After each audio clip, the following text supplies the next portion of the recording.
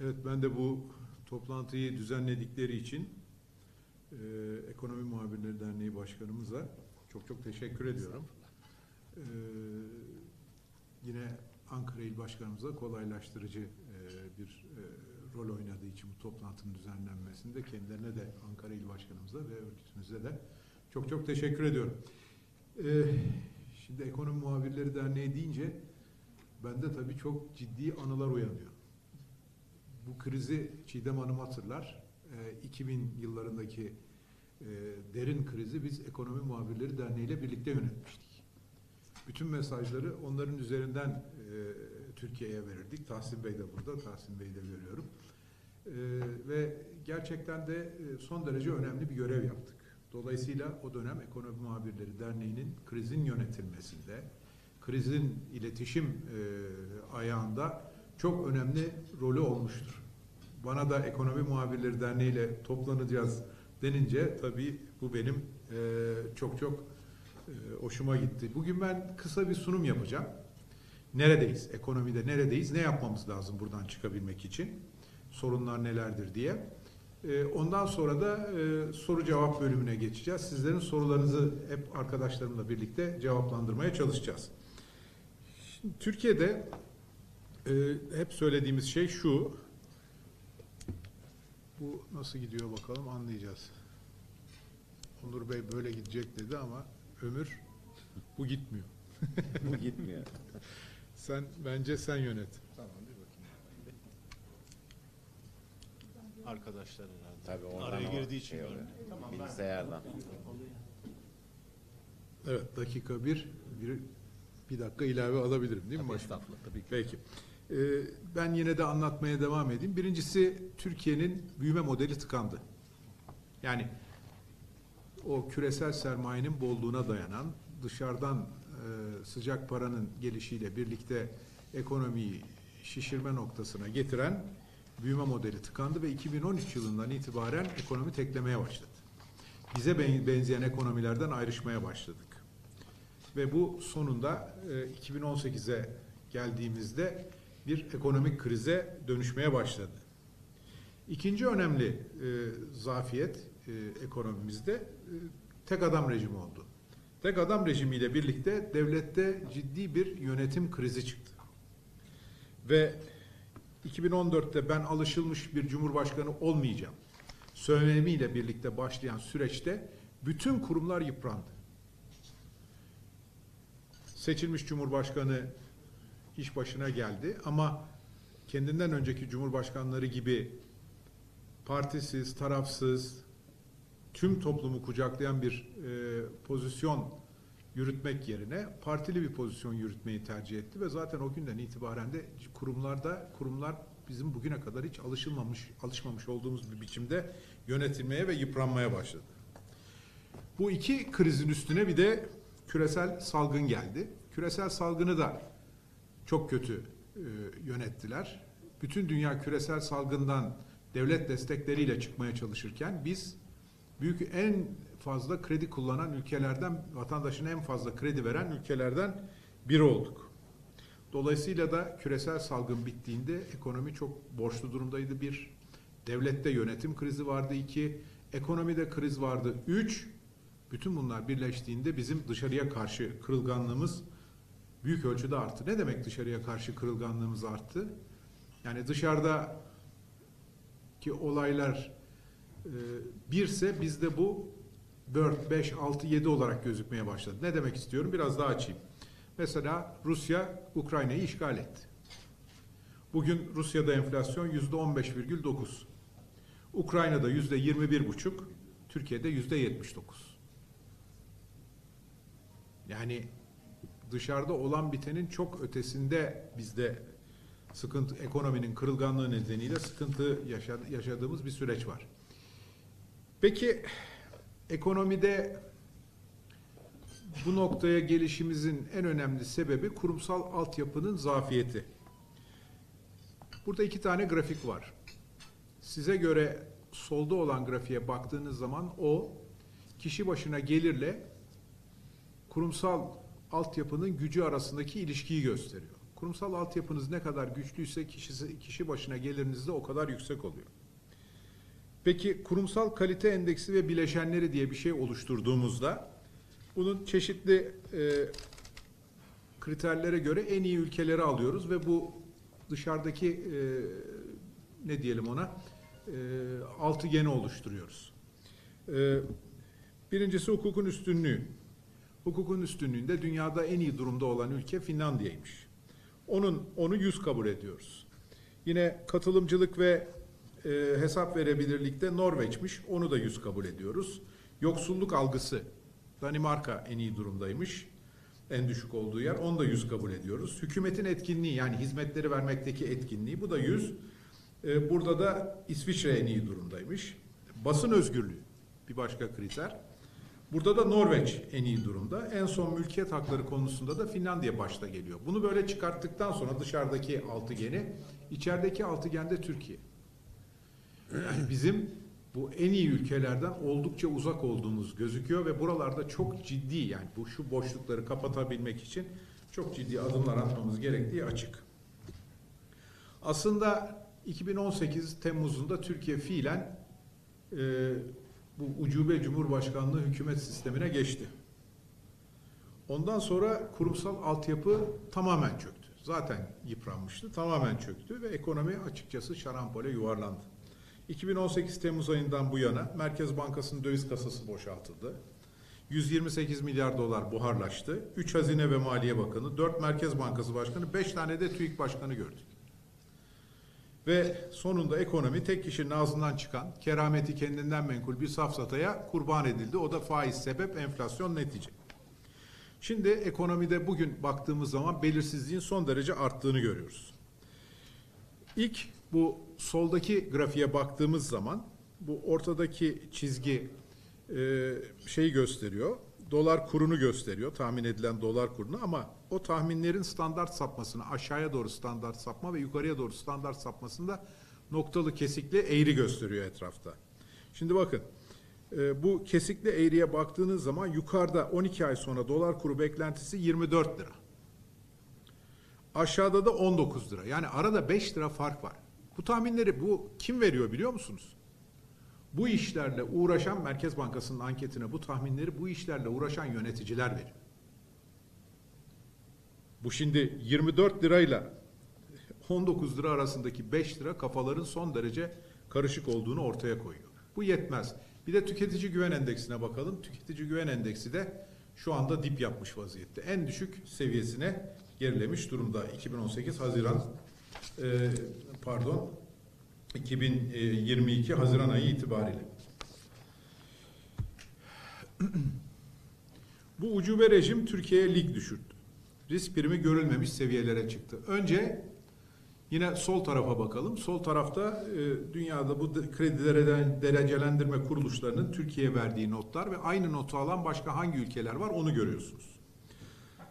E, Türkiye işte e, baktığınız zaman Bolivya, Kamerun, Costa Rica, Lesotho, e, Moğolistan, Nijerya, Ruanda, Senegal bu, bu ülkelerle beraber.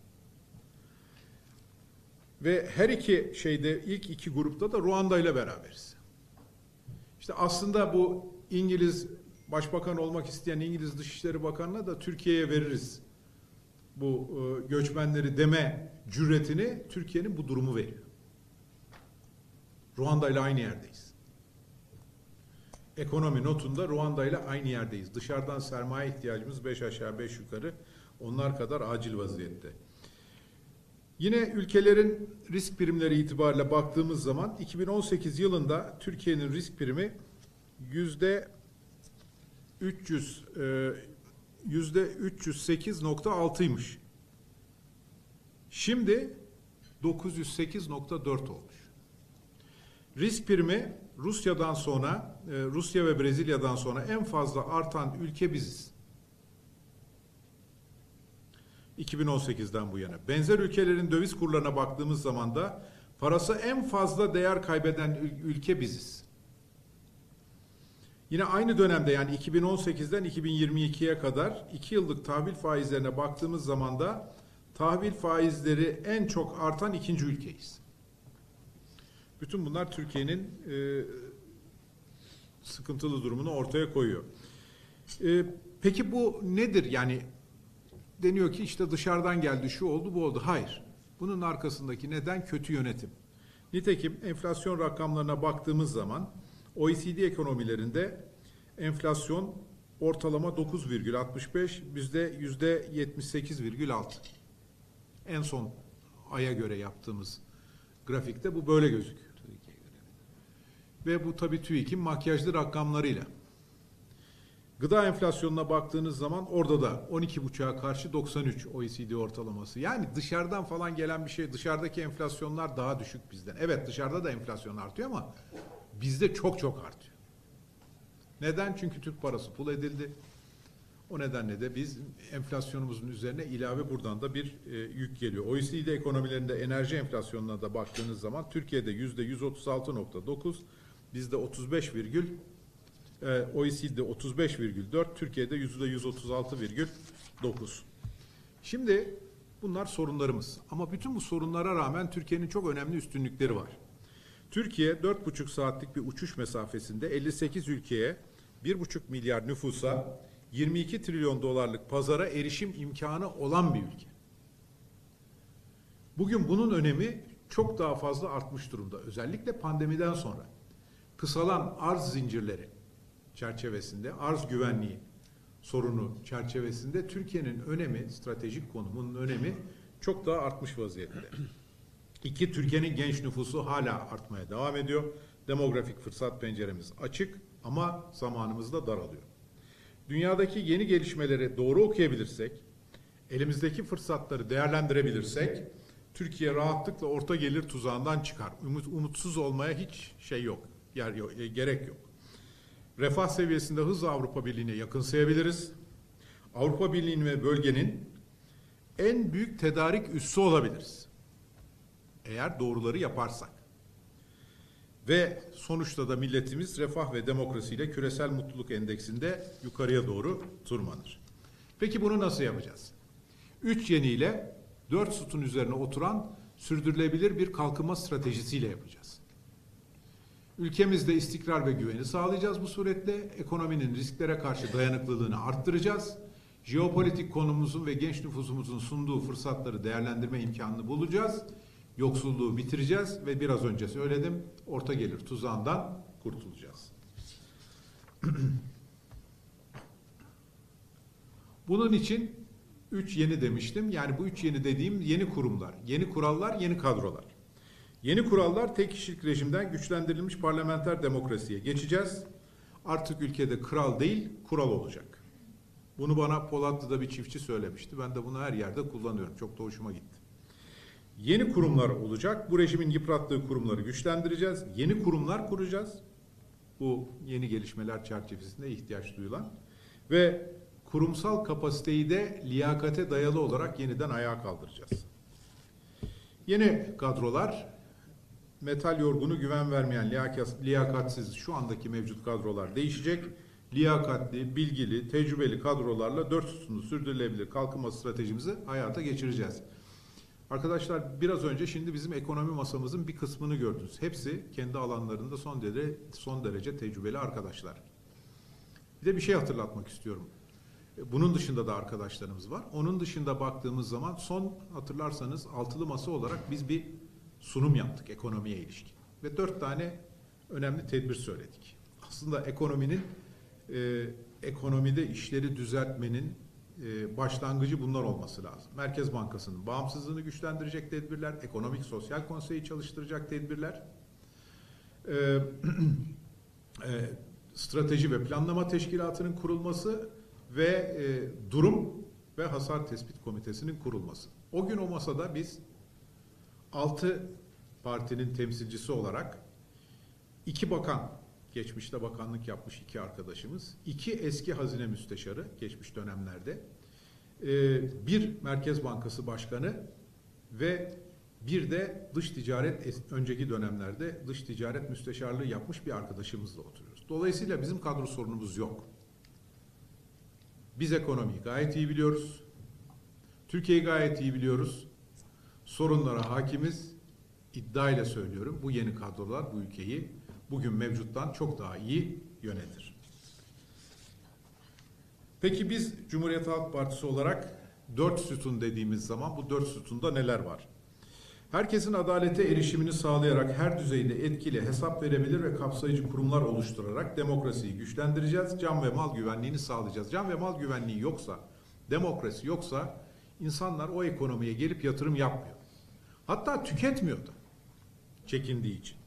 Onun için yepyeni güçlendirilmiş demokratik parlamenter bir sisteme geçmeyi, Cumhurbaşkanının tarafsız olmasını, kuvvetler ayrılığının güçlendirilmesini, yeni bir seçim yasası çıkarılarak milletvekilini milletin seçmesini, siyasi ahlak yasasını, e, Türkiye Büyük Millet Meclisi'nde bütçe kesin hesap komisyonu kurmak suretiyle denetlenebilirliği e, ön plana çıkarmayı, araç bağımsızlığına sahip bir merkez bankasının olmasını, Sayıştay'ın sarayın vesayetinden kurtulması, yürütmenin çağdaş standartlarla kapsamlı bir e, denetim denetiminin yapılması şeklindeki tedbirleri şöyle bir özetledi kızda. Tabii bunların dışında da olacak şeyler var ama burada önemli olan şu. Hukukun üstünlüğü meselesi. Yani vatandaş can ve mal güvenliği bakımından kendisini güvende hissetmeli ki ekonomik faaliyetlerde rahatlıkla bulunsun. Ekonomiyi sıcak parayla şişiren değil, üreterek verimlilikle zenginleştiren bir büyüme stratejisine ihtiyacımız olduğunu tespit ettik. Bunu getireceğiz. Ekonomide üretim odaklı rekabetçi bir yaklaşım olacak. Etkinliği ve verimliliği artırarak zenginleşen bir Türkiye olacak. Borçlanarak değil.